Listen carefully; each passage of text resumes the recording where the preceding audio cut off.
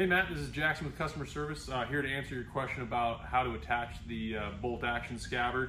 So our new bolt action scabbard just comes with this uh, reinforced tip on the end of the strap here. So it used to be a, a full buckle um, that you would end up buckling back to itself at the end, but honestly, um, this is just how the this is just how the MOLLE webbing, the standard MOLLE webbing comes nowadays, and it's it's honestly just a whole lot easier anyways because we used to recommend taking the buckle off, weave it through, and then put the buckle on.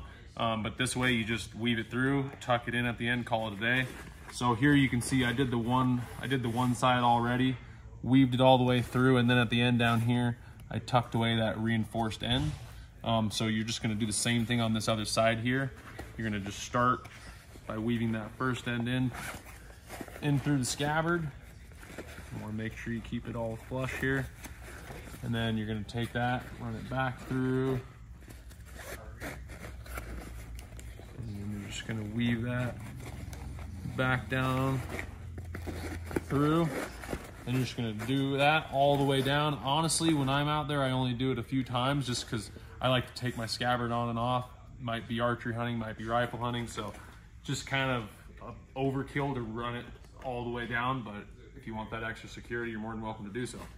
And there you've got the uh, attachment for the bolt action scabbard on the mainframe.